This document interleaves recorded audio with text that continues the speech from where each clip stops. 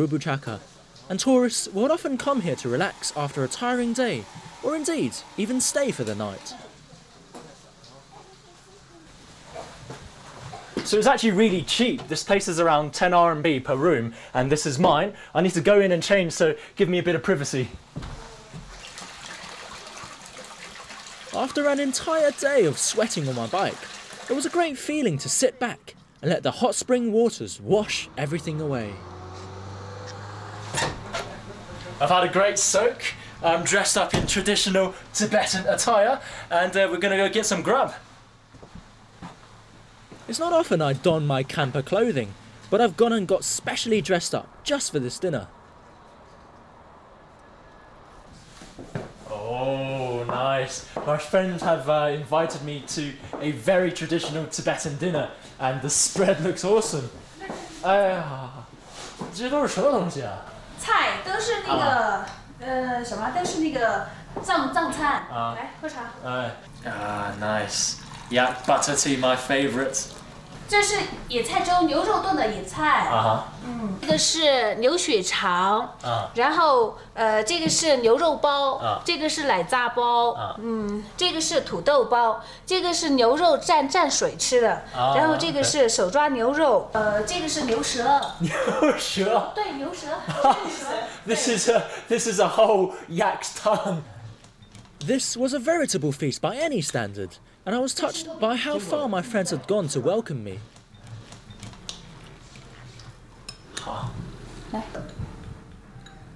This is yak's tongue. Let's uh, let's give it a try. Hmm. Hmm. It's actually really good. 谢谢啊。嗯，你看，我今天就是为了跟你们吃饭，专门穿的这件最传统的衣服。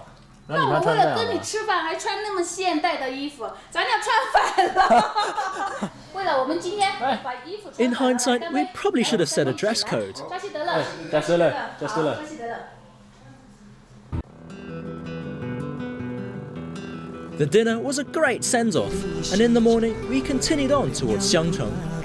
A word of warning Tibetan foods are high in oil, so take care not to eat anything that's gone cold, as it'll give you a serious stomach upset, something I had the honour of experiencing. Don't worry though, Xiangcheng's altitude is much lower than Daocheng's, and at just two hours' drive away, its pleasant surroundings make it a great spot to rest and nurse yourself back to health. So we've arrived in Xiangcheng, which is around uh, 2,800 meters above sea level, and it's markedly different from Daocheng because not only is the sea level different, but the climate and the weather's actually a lot warmer and a lot more comfortable for me. My first impression of Xiangcheng is that it's just so clean, and as soon as you enter town, you'll see its magnificent lamassery sat on top of a hill. I've come to the Sumpiling Lamassery here on Bamu Mountain, one of the most important lamasseries in the Sichuan Tibetan area, as I've been told that if I'm lucky, I can catch the lamas debating their Buddhist doctrines in the morning. Let's go see.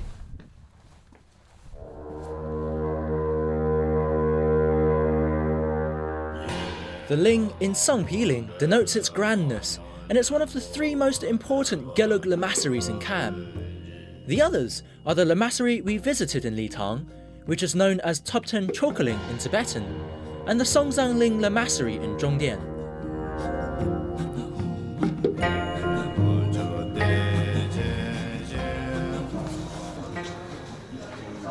This lamassery is also a place of learning, and lamas will gather in the classrooms to learn scriptures and the sciences.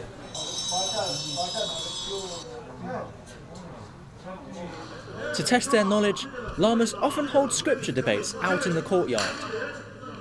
They'll ask each other questions, clapping their hands to emphasize their point. Respondents can choose whether or not to answer, but answer wrongly, and they'll get a clap on the head, which is motivation enough if you ask me.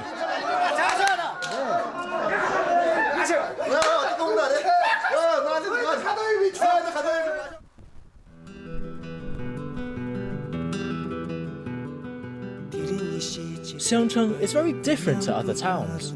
Its pure white houses look like a string of pearls on the mountains.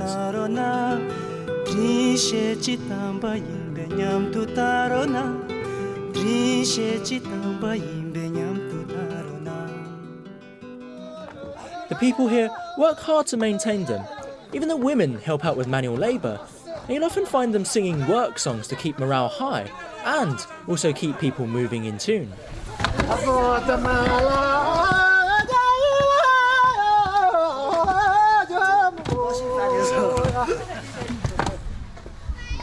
As this place has been around since Princess Wencheng's time, almost 1400 years ago, the dresses here are incredibly unique. This is because they've been influenced by a combination of traditional Han Chinese, Naxi, and Tibetan styles.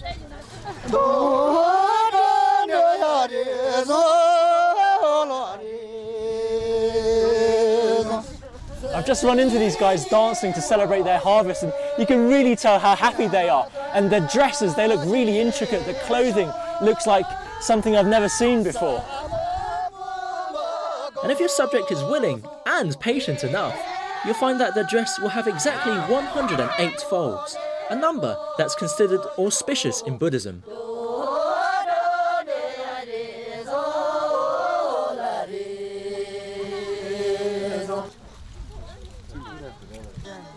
It looked like everyone had a great laugh, and with the festivities over, it was time for the villagers to go back to their towering homes.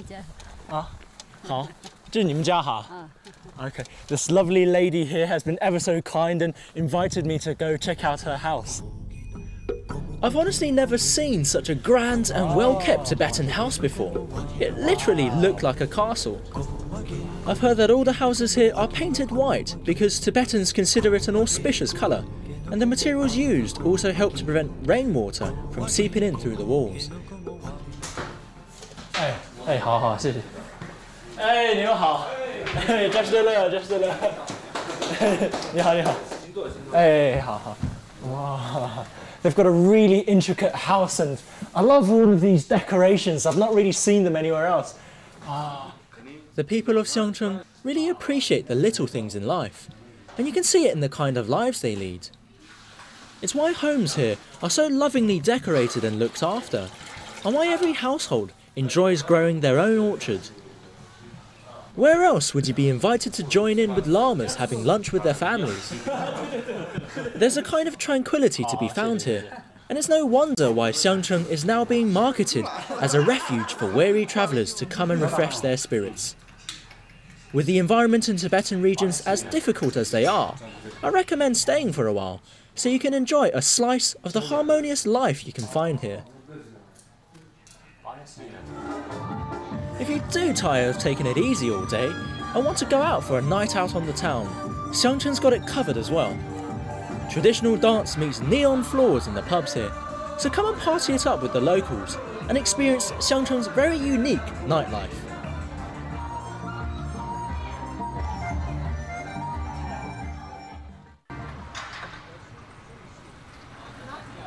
So we're now on our way to Durong, which I've been told is a 170 kilometer drive from here, and uh, it's going to be a very long ride. Durong lies at the border between Sichuan and Yunnan province, and it's the final section of Sichuan's Shangri-La.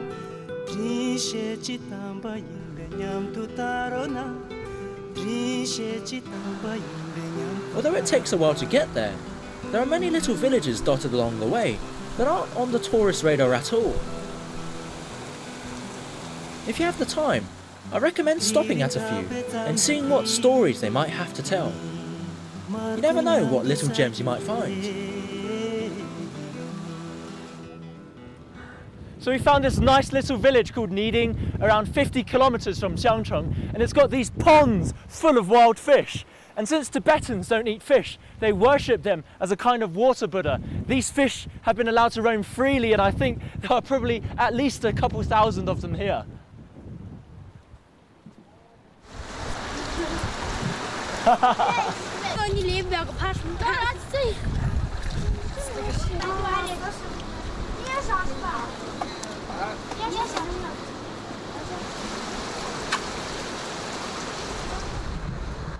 By the time we did eventually reach Durong, it was already night time.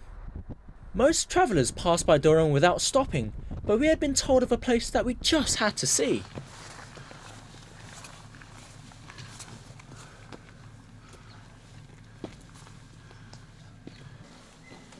After a very bumpy and rather dangerous one hour ride from Durong, we've arrived at Wongjia Lamasery, which is built into this huge cavern in the mountain face.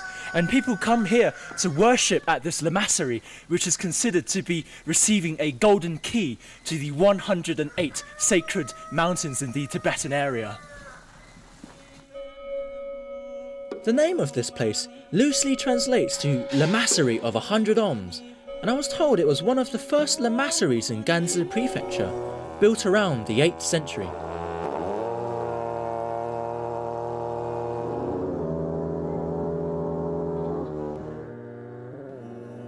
Apparently, it was founded at the behest of legendary Padmasambhava, who essentially made Tibetan Buddhism what it is today.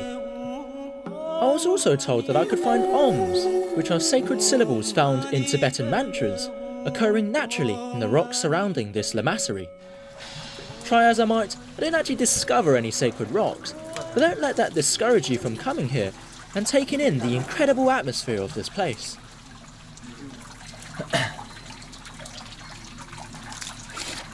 Mm, it's really cold and refreshing, and uh,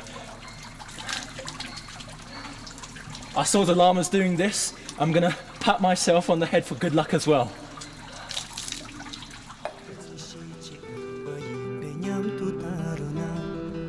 The journey so far has been nothing short of spectacular, but our adventure across Sichuan is finally coming to a close. However, we do still have one more stop, and it takes us right into Yunnan's Shangri-La County. I've cycled across highland pastures and poplar forests and met some incredibly warm-hearted people here and I've grown to really admire their passion for life that comes from their strong religious belief and also their coexistence with nature. Once we cross over this bridge with the Jinsha River beneath, we'll leave Sichuan and enter the Yunnan region where our journey will be nearing its end. But don't worry because we've still got quite a lot left to see. I'm Taran and we'll see you on the next episode of Travelogue.